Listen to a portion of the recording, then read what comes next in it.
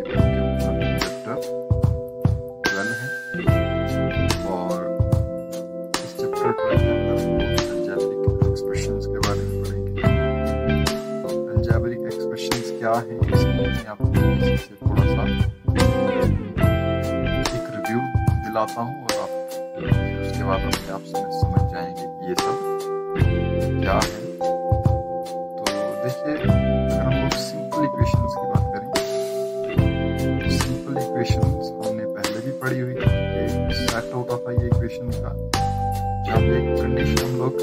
मान के चलते थे कि देखो अलजेब्रा जब हमने अलजेब्रा स्टार्ट करा था ना तो अलजेब्रा स्टार्ट किया था हमने तो वहाँ पे हमने पढ़ा था। तो हम बोलते थे ऐसे कि मान लीजिए कोई dash dash plus dash dash मतलब टू नंबर्स थे और उन टू नंबर्स को जोड़ के हमारे पास आ रहा था जी दस।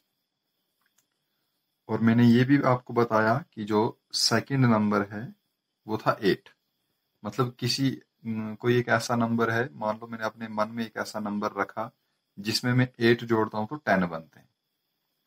तो आपके लिए बताया जाता था कि बताइए जी वो नंबर क्या है? तो वो नंबर जब हम निकालते थे ना तो वो निकलता था अलजेबरा की मदद से। और अलजेब्रा में हम इसको कैसे करते थे? हम बोलते थे कि जो नंबर आपने अपने मन में रखा है let that number be X तो हम बोलते थे कि चलो जी, वो नंबर जो है वो एक्स था तो अभी देखिए, अगर आप इस इस स्टेटमेंट को देखिए तो ये क्या हो रहा है? ये हो रहा है आपके पास x plus eight is equal to twelve तो यहाँ से जब हमको इस x की वैल्यू निकालनी होती थी तो हम क्या करते थे? हम इसको लिखते थे बाई ट्रांसपोजिंग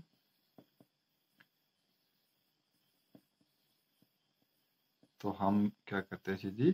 ट्रांसपोज करते थे eight to right hand side ये है ना हमारा इक्वल टू तो ये इक्वल टू है मतलब यहाँ से ये वाली साइड जो है, ये लेफ़्ट हैंड साइड है और ये वाली साइड राइट हैंड साइड है। तो ये क्या बनता था? ये बनता था x की जगह पे तो x ही रहता था। अब इज़ इक्वल टू की जगह इज़ इक्वल टू इस टेन की जगह, ये टेन तो आप बोलेंगे ये एट कहाँ गया? तो देखिए, इस एट को हम ट्रांसपोज कर रहे हैं मतलब इसको हम इज़ इक्वल टू से आगे ले रहे हैं तो वो इसके बाद लिखेंगे। जिस भी टर्म को यहाँ से ले रहे हो ना तो उस वाली टर्म को आप ऐसे पेंडिंग में रखेंगे और जो भी आपके पास दिया हुआ, पहले आप वो लिख लेंगे। तो अब जब ये एट इज़ इक्वल टू के आगे आए तो बन जाएगा माइनस एट तो अभी आपको याद है ना कि भूल दिया है आपने? देखो, हमारे, हमने पढ़ा था कि अगर प्लस जो है वो इज़ इक्वल टू से उठ के आगे जा रहा है तो वो माइनस बन जाता था। और अगर माइनस इज़ इक्वल टू से उठ के राइट हैंड साइड में जा रहा था तो वो प्लस बन जाता तो यहाँ पे देखिए अभी क्या हो रहा है प्लस एट आगे जा रहा तो ये माइनस एट हो जाएगा। और यहाँ से हम एक्स को वैल्यू कैलकुलेट करेंगे तो टेन में से एट कटेगा तो बचेगा टू तो इसका मतलब ये हमारे पास ऊपर जो हमने x रखा था ना, इस x की जगह पे होगा टू तो देखो, अगर हम x की जगह पे टू लिख देंगे तो टू में एट डालेंगे तो कितना हो जाएगा टेन वैसे ही हमारे पास क्या होता था? सब्ट्रैक्शन भी सब्ट्रैक्शन का भी वैसे बनता था। मान लीजिए जी हमारे पास कोई एक नंबर है तो उस नंबर को मैं मान लेता हूँ जी, वो y होगा। उस y में से आप कुछ सब्ट्रैक्ट कर रहे मान लीजिए आप उस y में से फाइव को सब्ट्रैक्ट कर रहे हैं तो आपके पास बन रहा है टू। तो आप बोलेंगे, ऐसा क्या है जी जिसमें से फाइव काटा तो टू बचेगा? तो देखिए, इसको भी हम क्या करेंगे? y की वैल्यू निकालनी है तो हम करेंगे ट्रांसपोज। तो transposing five to right hand side तो पाँच को हम कहाँ पे ले रहे हैं? इज़ इक्वल टू क्या आगे? राइट हैंड साइड पे ले रहे हैं। तो ये हमारे पास बचेगा इधर पे y is equal to two अब देखो, इस फाइव का साइन ये वाला रहता है ना तो ये माइनस फाइव मतलब इज़ इक्वल टू के आगे जा रहा तो minus five is equal to आगे जा रहा तो बन जाएगा प्लस फाइव और ये हो जाएगा y is equal to two plus five तो कितना होता है जी? टू प्लस फाइव सेवन तो मतलब y की जगह कितना था? सेवन था. तो अगर यहाँ पे y की जगह पे हम सेवन लिखेंगे तो सेवन में से फाइव कटते तो टू ही तो बचते हैं ना। तो ये कुछ चीज़ें जो थी हमने बेसिक इक्वेशंस के अंदर सीखी थी। तो अब आप बोलेंगे कि ये अल्जेब्रिक एक्सप्रेशन है क्या? तो ये अल्जेब्रिक एक्सप्रेशन भी इन्हीं की एलोब्रेशन है। ठीक है? ये एलोब्रेशन है एक्सप्रेशंस की और इस वाले यूनिट के अंदर हम पूरा का पूरा हम लोग जो है किसके बारे में स्टडी करेंगे? हम स्टडी करेंगे एक्सप्रेशंस के बारे में। तो हम यहाँ से चलते हैं और अपना फोकस जो है हम कहाँ पे लेते हैं जी? हम अपना फोकस लेते हैं एक इस वाली इक्वेशन पे और एक इस वाली इक्वेशन के ऊपर।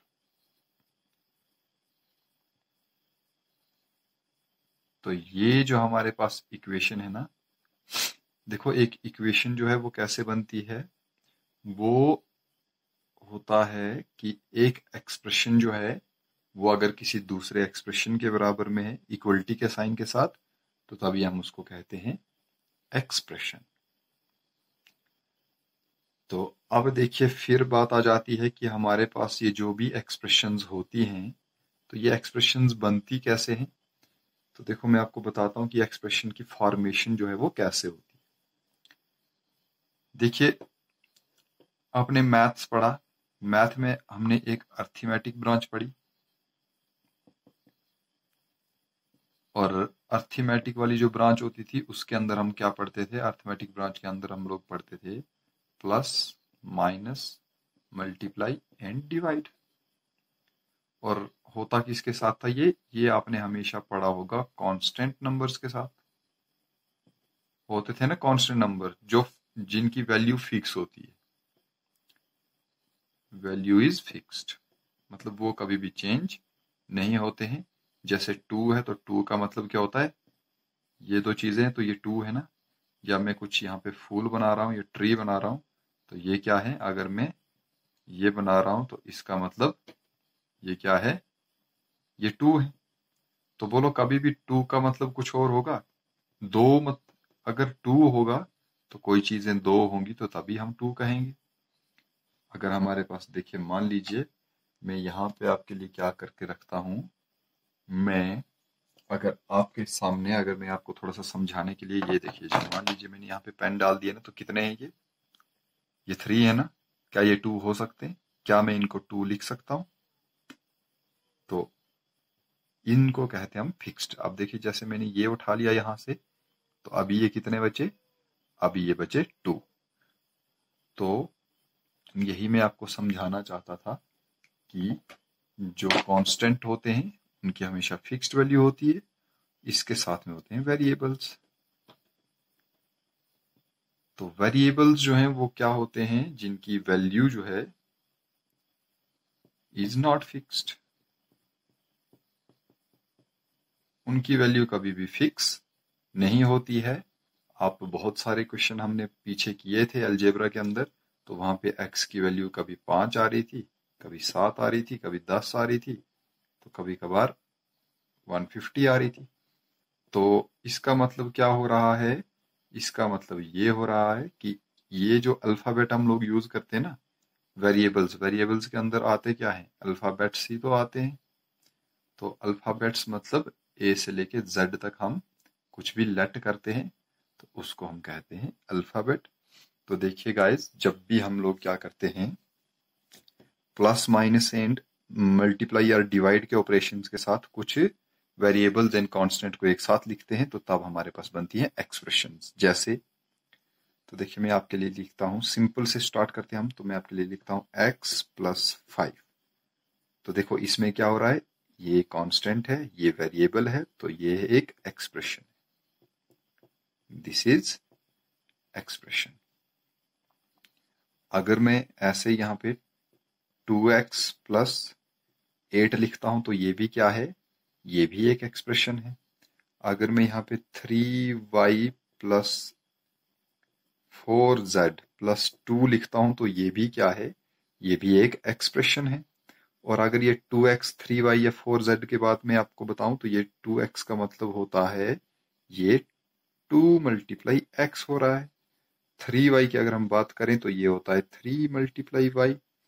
Four Z की बात करें तो ये होता है फोर मल्टीप्लाई जेड, ठीक है?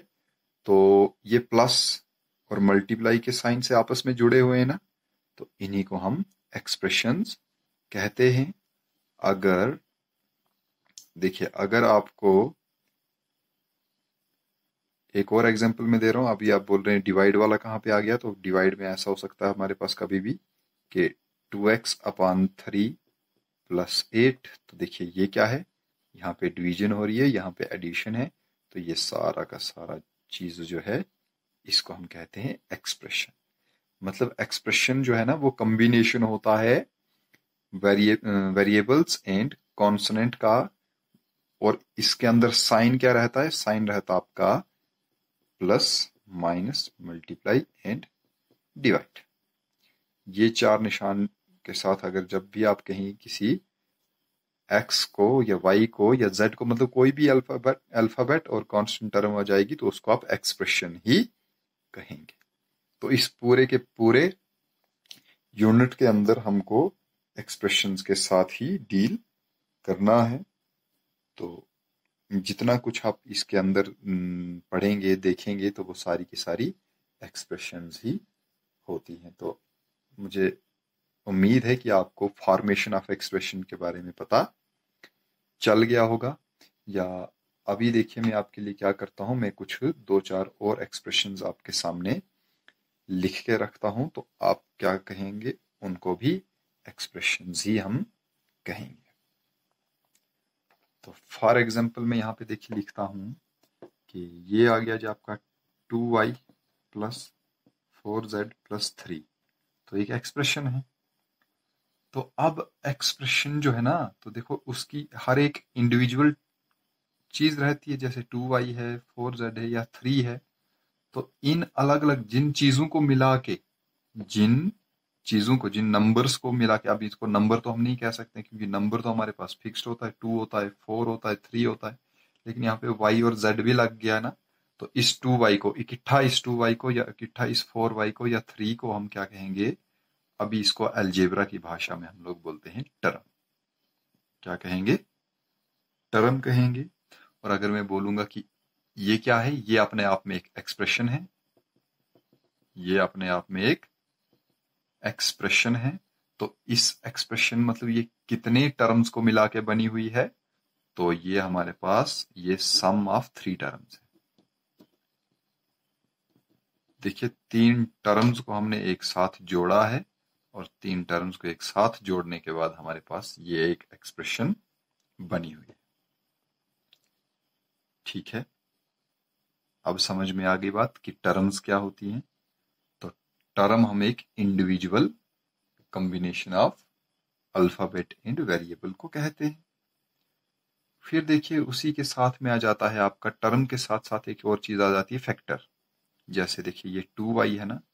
तो अगर इस टू वाई के फैक्टर हम लोग बोलेंगे कि इसके फैक्टर क्या होंगे? तो फैक्टर आप जानते ही हैं, फैक्टर क्या होते हैं? मतलब वही छोटे छोटे नंबर मिला के जिनको ये बना है। तो टू के फैक्टर अगर हम लोग करें तो टू ही आता है और ये हो जाएगा टू इंटू वाई। अगर इस फोर जेड के मैं करूँगा तो फोर जेड का मतलब क्या होता है? देखो, फोर के फैक्टर यहाँ जैसे करेंगे, आप अलग में मैं आपकी करके बता रहा हूँ। आपको तो पता ही होगा।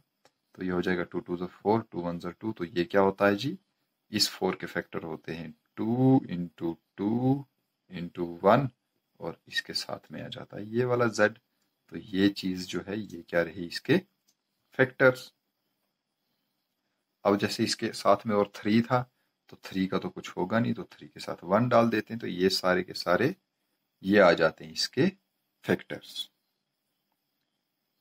अब देखिए इसी के साथ एक और टर्म रिलेटेड होती है, जिसको हम बोलते हैं कॉफिशेंट क्या कहेंगे? कॉफिशेंट तो कॉफिशेंट जो हमारे पास, क्या होता है? कॉफिशेंट हम बोलते हैं कि numerical value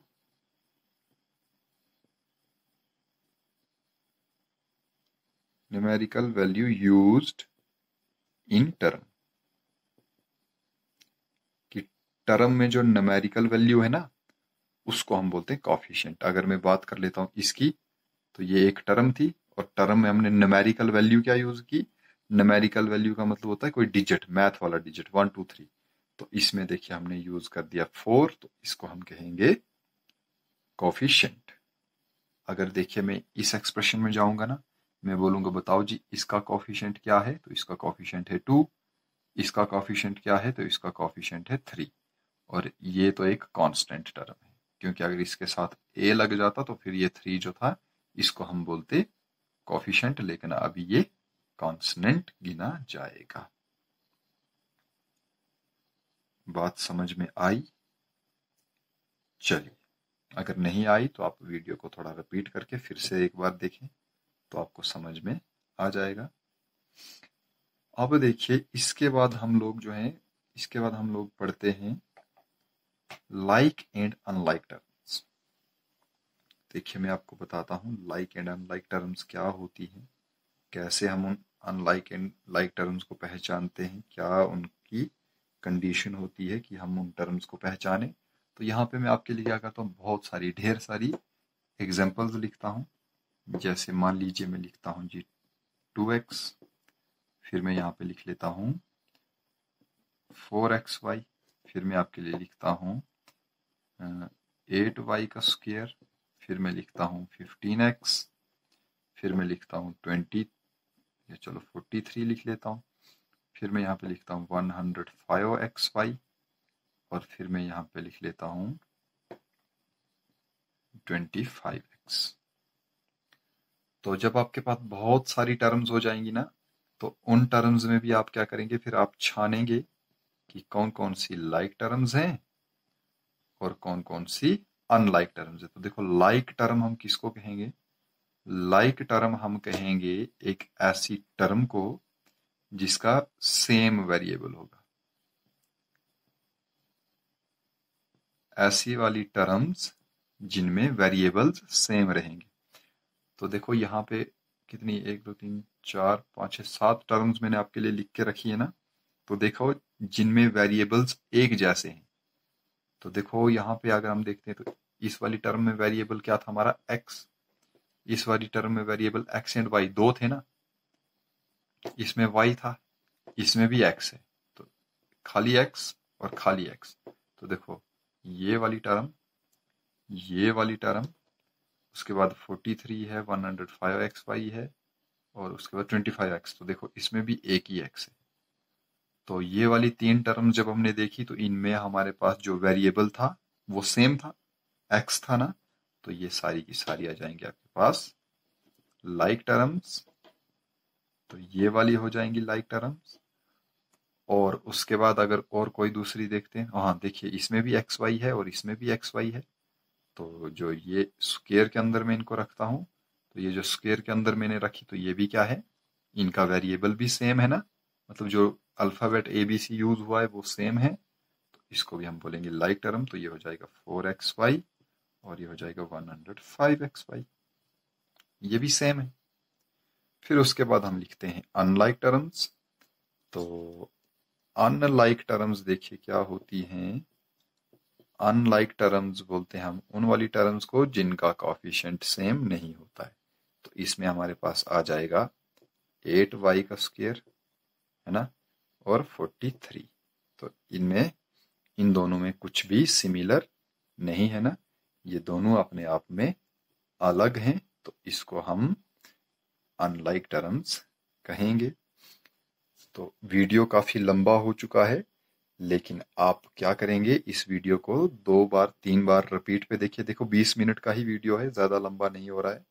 तो आप क्या करेंगे, इसको फिर से दोबारा से आप इसको दो तीन बार देखेंगे, जब तक ना आपको ये जबानी याद हो जाए। क्योंकि ये आपको, अभी आप सेवंथ में है, ये आपको जब तक आप मैथ पढ़ रहे हैं ना नाइन्थ टेंथ इलेवंथ ट्वेल्थ कुछ भी तो आपको ये हर जगह लगेगा ही लगेगा, हर जगह इसका यूज़ होना है।